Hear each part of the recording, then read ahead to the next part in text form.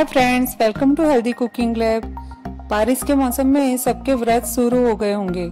तो आज हम व्रत से जुड़ी हुई एक फराली रेसिपी बनाएँगे, जो बहुत ही चटपटी और स्वादिष्ट है, और जो बिना व्रत के भी आप सुबह के नाश्ते में बना के खा सकते हैं। तो चलिए बनाना शुरू करते हैं।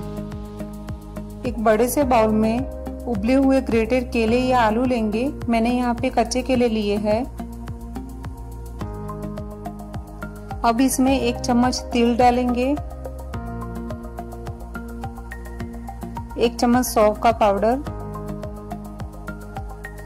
डेढ़ चम्मच पीसी हुई शक्कर डालेंगे।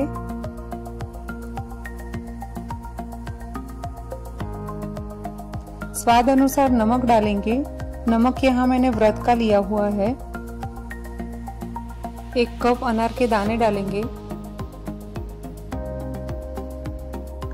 थोड़ा हरा कटा हुआ धनिया, एक चम्मच मूंगफली का पिसा हुआ पाउडर,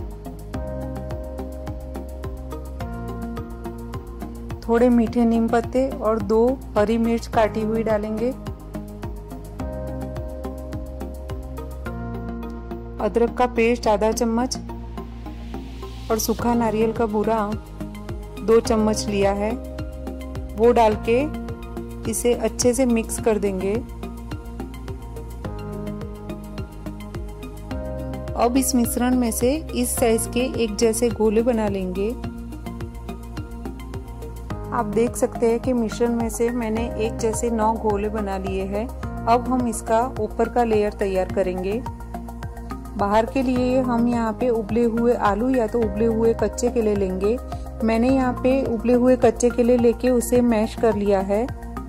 अब हम इसमें एक चम्मच तेल डालेंगे। कोई भी कुकिंग ऑयल ले सकते हैं। स्वाद अनुसार नमक डालेंगे।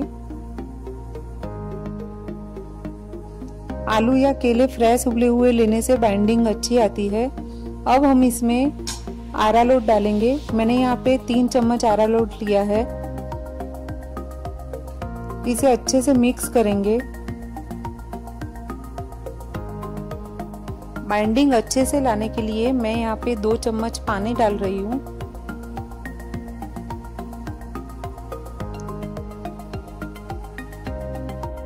ऊपर के लेयर के लिए मैंने नौ लोई बना के तैयार कर ली है। अब हम इसे उंगली और हथेली की मदद से इसे पूरी के जैसा चपटा कर लेंगे। अब हम इसमें स्टफिंग बॉल रख के ऊपर के लेयर का जो आटा है, उसमें कवर करेंगे। अगर आपसे ये नहीं होता हो तो आप हाथ को थोड़ा चिकना कर ले।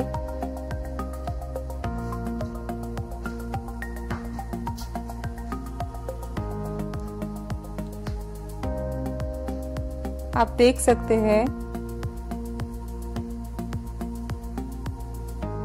ऐसे गोल घुमा के मैंने पूरा बॉल तैयार कर लिया है। ऐसे हम सारे गोले तैयार करेंगे। सब गोले तैयार कर लिए हैं, अब हम इसे फ्राई करेंगे। फराली बॉल को डालते टाइम फ्लेम को हाई रखना है। एक मिनट के बाद इसको हिलाना है और फिर हम मीडियम फ्लेम पे इसको तीन से चार मिनट होने देंगे। मीडियम फ्लेम पे इसको हिलाते रहना है। आप देख सकते हैं कि इसका कलर चेंज हो गया है।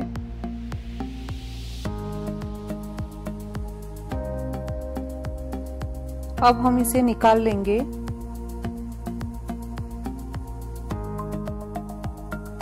व्रत में खाने के लिए हमारे चटपटे पराली बॉल्स तैयार है। मेरी रेसिपी से जुड़े हुए आपके ओपिनियन नीचे कमेंट बॉक्स में शेयर कीजिए। और अगर आपको मेरी रेसिपी पसंद आई हो तो मेरी वीडियो को लाइक और शेयर कीजिए। मेरी चैनल को सब्सक्राइब कीजिए। ऐसी और वीडियो सबसे पहले देखने के लिए नीचे दिए गए बेल आइकन को प्रेस कीजिए।